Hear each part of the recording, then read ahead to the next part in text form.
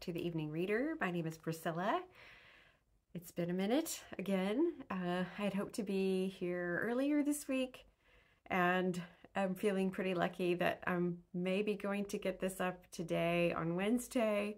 I may, I'm recording it on Wednesday. I may not get it up until Thursday and it may be the only thing I'm able to get up this week. Uh, yeah, it's, the universe is not cooperating and I thought things would sort of start to slow down in December, especially with work, because typically in the past, at least the last two weeks of December are somewhat quiet.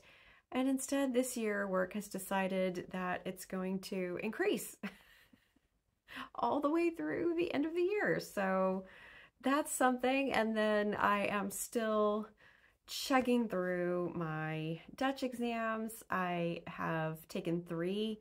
I took one on, I took the third one on Monday. I have one next Thursday, my speaking exam. that one makes me so nervous. And then I have a culture exam at the end of the month on the 29th, on the very last possible day. so, so good times. Anyway, December. Let's talk about December. Let's talk about December reading plans. Let's not worry about November. Hopefully I'll get to come back and talk about that. Um, but I wanted to talk about what I'm doing this month. And yeah, I am doing Remember December. And this is an event, a December event. I'm sure you probably already know about it, but just in case you don't, this is being hosted by Roz at Scally Dandling About the Books um, Ann Novella, Bouquins Books, CriminOlly Blog, Ms Reads a Lot, Aaron Facer, and Shelly Swearingen. Did I leave anybody off? No, I didn't. so thank you. Thank you to the hosts for doing this. Uh, and the prompts for this event are to reread a book you have basically forgotten, reread a book to find out how you really feel about it, and reread a book in a different way. And so I have already started on the third prompt, which is reread a book in a different way. And for that prompt, I am actually listening to My Name is Lucy Barton on audiobook. Uh, I think I mentioned in my last video that I have now with my Spotify subscription that I have, this is not sponsored, this is not a plug, but with my uh, Spotify subscription, I get 15 hours of audiobook time a month or billing period. I'm not exactly sure how that works. And um, so I decided to listen to My Name is Lucy Barton, and I'm probably about 40% of the way through, and I'm really, really enjoying listening to this, um, surprisingly, because audiobooks and I don't get along. But I think I also mentioned in my last video that I found the hack, which is if it's a book that I, have already read, listening to it actually is something that I can stick with it. I because I'm already invested in the story. I was really kind of hoping that uh, Laura Linney would be the person who was reading the book because I know she did the one woman show. And I was also hoping that I could find that on YouTube, but alas, there is, it's not out there. It's not available. Maybe someday it will be. Um, but yeah, I don't remember the name of the woman who is doing the narration. I will put it in the uh, but she's doing a fantastic job. And I have to say that hearing somebody reading in Lucy's voice, because my name is Lucy Barton, is obviously in the first person. It's narrated by Lucy. Um, and is really lending a great deal of depth uh, to that book. And this is probably I have read it originally on an ebook. I have a physical copy, but I cannot find it. I think I must have loaned it out. Um, so I have read it in both of those formats, and so I thought that I would try listening to it because the book that I have for the read reread a book to find out how you really feel about it is O William, uh, which is not the second book in the what's called the Amgash series, I guess. Uh, that is Anything is Possible, which is a, a uh, they're connected stories um, about uh, Amgash, Illinois, or Amgash, Illinois, not Illinois. Sorry, it's that kind of day. Um, which is Lucy Lucy Barton's hometown. Um, this is about Lucy's ex husband, um, William, who we do meet in Lucy Barton. And uh, in this book, they are they have been long divorced, both remarried, and now are finding themselves uh, both single. And William finds out something about his past, and um, Lucy sort of accompanies him on this journey, and they sort of re I wouldn't say they reform a relationship because it seems like they have a relationship. I didn't particularly care for this book. Um, well, I liked the book. That's not true, but I didn't particularly care for Lucy in this book. And it made me hesitate on picking up the last one, the most recent one, I should say, um, which was Lucy by the Sea, which I read uh, in October. No, the end of September, excuse me, the end of September. And I really loved and also want to reread. I'm not using that book as part of my um, Remember December um, reading, but I am hoping that I can get to all three books. But at the very least, I will get to O. William and, um, you know, I will read, reread Lucy by the Sea, whether it's this month or maybe early next month that's the plan because I really feel like I see a new dimension of Lucy. Um, I really am enjoying her character a lot more with this sort of rounded out view of her. So I'm looking forward to experiencing that book again and really hoping that this one becomes a book that I feel better about. So, uh, for the other prompt, reread a book that you have basically forgotten. Now, some for some reason I thought this was like a book that you had loved and basically had kind of forgotten and wanted to reread to see how you feel about it. So I kind of combined this the, the first two prompts in my mind, but I have a stack, I have a pile of possibilities for uh, the first prompt. So reread a book that you've basically forgotten. So I have not totally forgotten these books, but they're books that at one time I really did love and I I'm so far away from them now. I haven't read them in a while. In some cases a very long time and I really want to see how they hold up. Um, the first one is The Liars Club by Mary Karr, which I think I first read in 1995 or 1996. Uh, so that was quite a while ago. Let me see when this was. Yeah, this was this is 19 copyright 1995. Um, yeah. So I think I read this maybe in 90. I probably read it in 96 actually. And this is a memoir of Mary Karr. Um, I also have read the second book, sort of, or second memoir that she wrote, uh, Cherry, which uh, kind of follows up this one, and I think there's a third one. Um, I already, I also have her book, The Art of, I think it's The Art of Autobiography, which is a fantastic book about writing um, memoir or the art of memoir. I think it is. Sorry. I'm batting a thousand. I'm doing so well.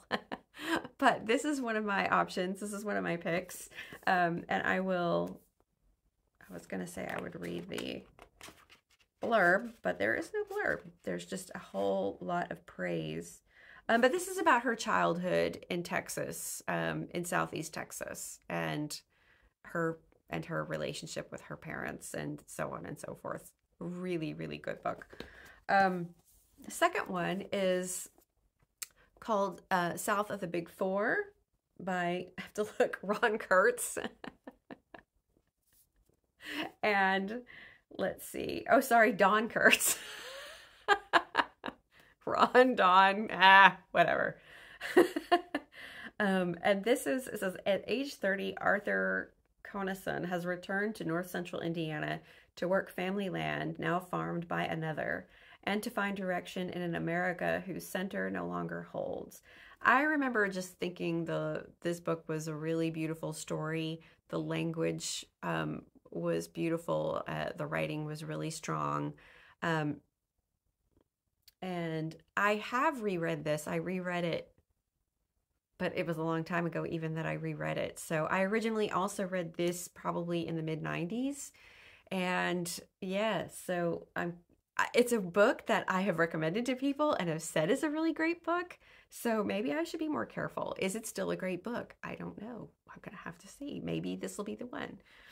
Um, the next one that I picked up uh, that to possibly reread is um, Margaret Atwood's The Robber Bride.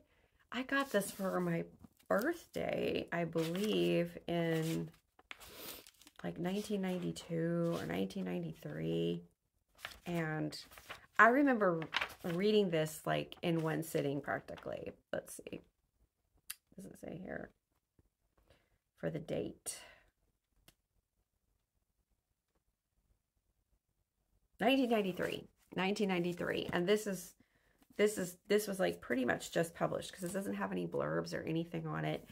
And yeah, I remember reading it in one sitting and really loving it. And I think I read this one before I read Cat's Eye, which is actually my favorite Margaret Atwood. Um, and it says, let's see, from the extraordinary imagination of Margaret Atwood, author of the best-selling The Handmaid's Tale and Cat's Eye, comes her most intricate and subversive novel yet. Roz Charis, Charis, I never know how to say that name, Charis. I think it's Charis, C-H-A-R-I-S. you can Google it, dummy. Uh, and Tony uh, war babies all share a wound, and her name is Zenia. Zenia is beautiful and smart and hungry, by turns manipulative and vulnerable, needy and ruthless, the turbulent center of her own never-ending saga. Zenia entered the lives when they were entered their lives, the, the lives. Zenia entered their lives when they were in college in the 60s. And over three decades and over the three decades since, she damaged each of them badly ensnaring their sympathy, betraying their trust, and treating their men as loot. Then Zenia died, or at any rate, the three women, with much relief, attended her funeral. But as the robber bride begins, she's suddenly alive again, sauntering into the restaurant where they are innocently eating lunch. So, I don't know. Could be interesting. I'm I'm curious to to find out. I remember that one of the the uh, one of the protagonists, Tony, is a professor of military history, which I just I don't know why. That's that is the detail that stuck with me. Like to the point that I think that she has a model in her um she has like a model of a battle in her office that she has little pieces that she can move around to reenact the battle. Anyway, the things that stick with us, the things that we do or don't remember. The next one that I remember that I loved this book, and I do I love this author, and I've read plenty of books by her, and I have more recent books by her on my shelf to read, and that is um, this is The Beet Queen by Louise Erdrich. Um, I bought this used back again in the 90s. I bought this at um, Recycle Books and Records in Denton. This was published in 1986, it says. So I read it sometime, yeah, in the early 90s. And it says, uh, now from the award winning author of Love Medicine comes a vibrant tale of abandonment and sexual obsession, jealousy, and unstinting love. On a spring morning in 1932, young Carl and Mary Adair arrive by boxcar in Argus, North Dakota. Orphaned in a most peculiar way, Carl and Mary look for refuge to their mother's sister Fritzie, who, with her husband Pete, runs a butcher shop. So begins an exhilarating 40 year saga brimming with unforgettable characters. Ordinary Mary, who causes a miracle, seductive Carl, who lacks Mary's gift for survival, Sita, their lovely, disturbed, ambitious cousin, Wallace Pfeff, a town leader bearing a lonely secret, Celestine James, a, a mixed blood Chippewa, and her daughter Dot.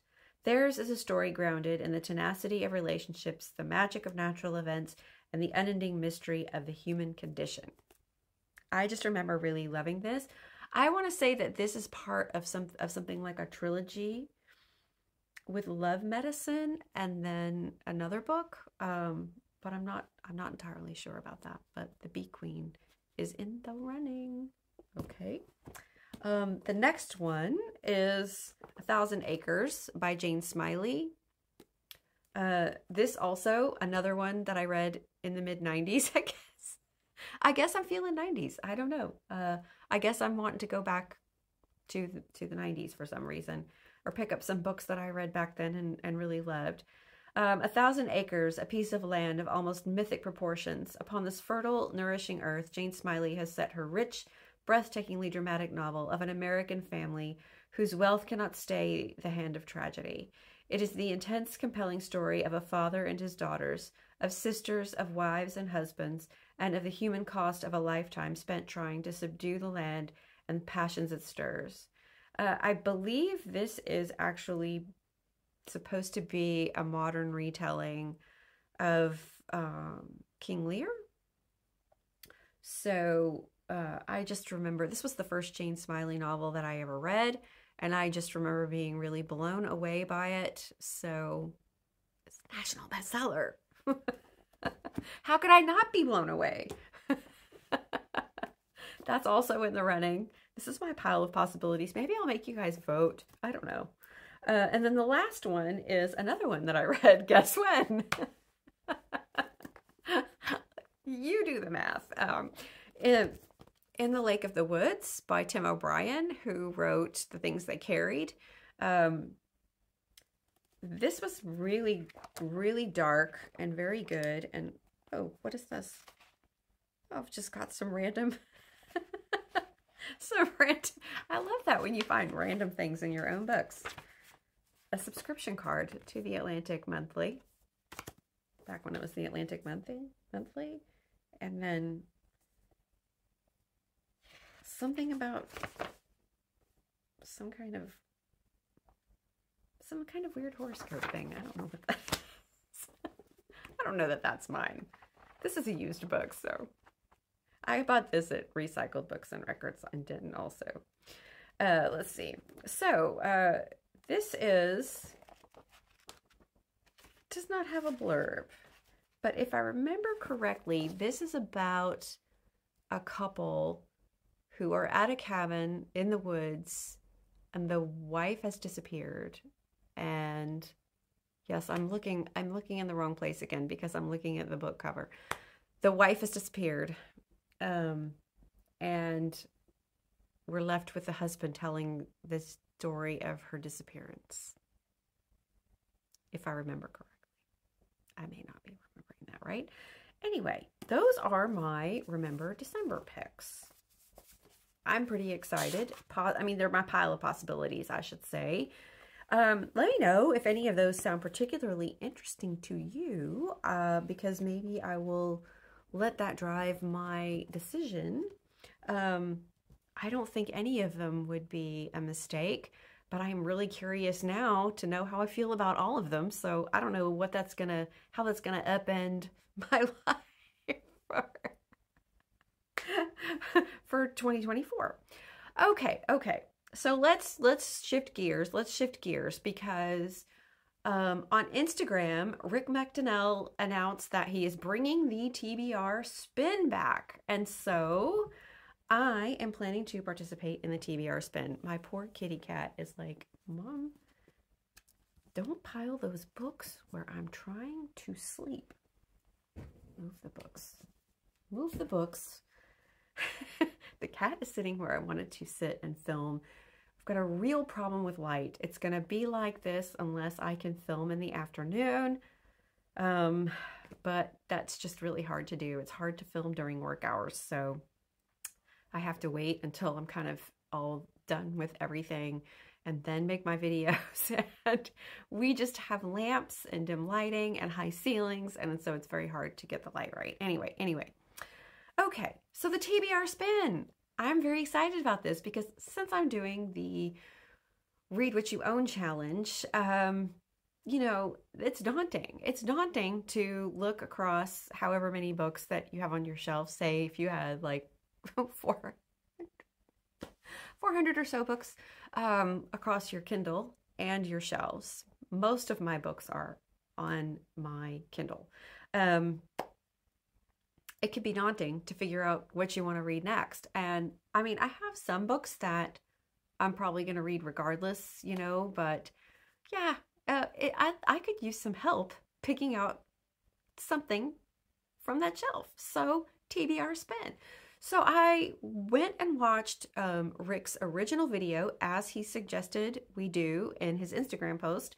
And I will link that video uh, down below if you're interested in participating. I think the spin happens on Friday. Um, and uh, these are the, it's not really, there's not really any rules per se, except, you know, there's some guidelines. There are some things that, well, no, there are some rules. There are some things you're supposed to do.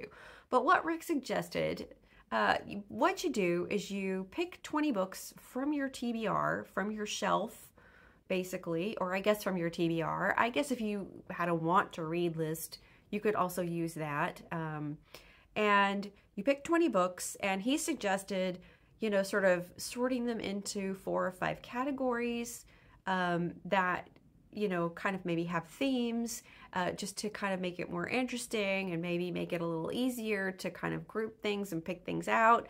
And then um, on Friday, uh, oh, oh, sorry. then you have to uh, announce your list. You you number them one through twenty.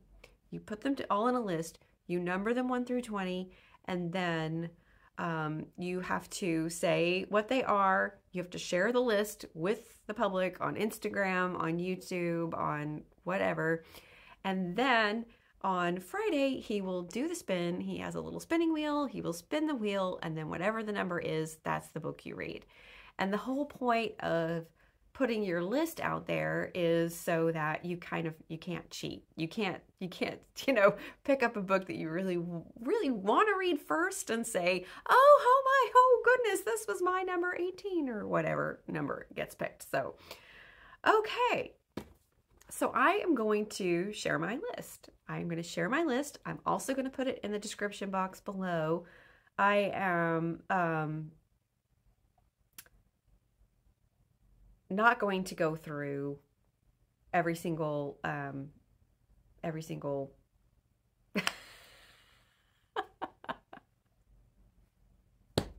okay i'm not going to read the blurbs for all of these books because it's it's not like i'm gonna you know I'm going to read all of these eventually, but I'm just going to say what the books are because I think that'll probably be the easiest way to uh, to do this. So, and like I said, I'll put the books down below. Okay, so here the here we go. Here we go. Okay. Okay. All right. So, all right. My first category is new to me. So these are books that I bought very very right near the end of, you know, the time we could buy books before we started the Read Your Own Books Challenge. So probably within, I would say, like the last few months of before this challenge started. So uh, the first one is Paul Murray, The Bee Sting, which I'm probably going to read anyway, but I'm going to put it in as part of the spin. this is a book that I'm just super excited to read. These are all books that I'm so excited to read. So anything that I can do to like prompt me along, I really want to do that. The next one is Fayne by Ann-Marie MacDonald. I think this is shortlisted for something, isn't it? Is this shortlisted for the was this shortlisted for the Booker? Oh, anyway, I don't know. I, I heard um, Eric Karl Anderson talk about this one, so this is a big chunky book. Um, Do Tell by Lindsey Lynch, who works at Ann Patchett's bookshop, Parnassus Books, and this just sounds kind of fun. Uh, I'm not supposed to say what the books are about, am I? Well, it's about uh, a woman who goes to Hollywood. She wants to be an actress, I think in the 1930s or the 1940s or maybe the 1950s, and she just she realizes that she's not a good actress, but she's a great gossip when she becomes a gossip columnist. Sounds kind of fun. Um, Collected Stories by Lydia Sandgren, um, or Collected Works, excuse me, not Collected Stories, Collected Works. As I'm looking right at the book title. Hello. Um, yeah, this one has been praised all over all over booktube um, sean the book maniac in particular um, said that he really loved this so really want to get to that one um, and then um, one i have one on my I have to look at my uh, tablet here. Um, the family izquierdo by ruben delgado and that's uh, it's a multi point of view multi-family saga that and i'm probably not saying the name right so i my apologies. And um, yeah okay. I'm having i'm i'm having where do i look issues again? Okay well we'll get through it. We'll get through it those are my five choices for new to me for new to me okay the next section that I have is mysteries, okay? Uh, and I have The Skeleton Key by Erin Kelly. Yes, that is uh, here on my tablet. I would love to like just hold my tablet up and show you these, but I'd have to like scroll through and then like get to the cover. And so I'll just, I guess I'll just pop them up or whatever. Um, the next one that I have, which I just happen to have here with me, is um, the Satapur Moonstone by Sujata Massey, which is the second book in this Sujata Massey series. Massey series. the lights. Yeah, the lights changed. The lights changed. Um, yeah, because my my husband does that when uh, when he, to let me know he's getting ready to come home from squash. So just one minute, just one minute. Okay, we're back. So, as I was saying, this is the second in the series. Um, that was the um, Perveen Mystery. Uh, I read the, oh, the first one. I read the first one, The Widows of Malabar Hill. Yeah, that was terrific. I read that this summer. So this is the second one in that series. Um, the next one is Jacqueline Winspear's Maisie Dobbs. Uh, Conviction by Denise Mina. I know that um, Angelia said that she really likes Denise Mina. I had the first two books in that. I think there's. I think that's going to be a trilogy. So that's the next one, and then a book by C.J. Sansom that has been on my tablet forever, or on my. Oh God, I went to sleep. This is truly a disaster. Let's see. CJ hands. it's the first book in the Matthew Shardlake series, and it's called Dissolution. So that's that is that's my next five. Okay, the next five after that are um, story collections because I have a lot of short um, story collections, and I have not been um, really reading them or focusing on them. So the first one is called Volt, and that is by a writer named Alan Heathcock. That this was a book that I just happened to like get on Kindle sale. It looked interesting, so I thought I would buy it. Um, the next one is bear with me, bear with me. Is um, six stories, six stories by Matt Wesolowski. No, I don't. Nope, I don't want to start reading it. No, thank you. Matt Wesolowski. and these are connected stories. One body, six stories. Which one is true? Okay. Uh, the next one is um, Going to Meet the Man by James Baldwin.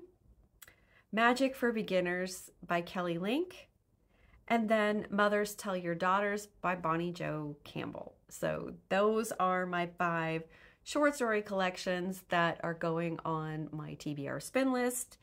And then the last category is nonfiction because I wanted to make sure I've got a lot of unread nonfiction and I wanted to make sure I get it on there. I have H is for Hawk by Helen Macdonald. Um, Lady from the Black Lagoon. I am not sure who that's by. But that is, that looks like a really fun book. Um, let's see, by Mallory O'Meara.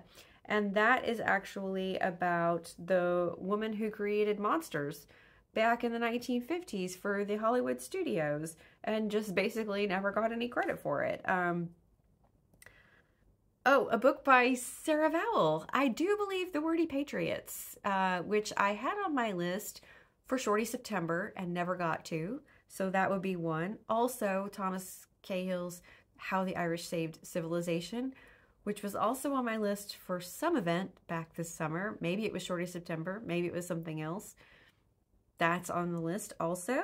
And then um, Travels with Charley by John Steinbeck. So,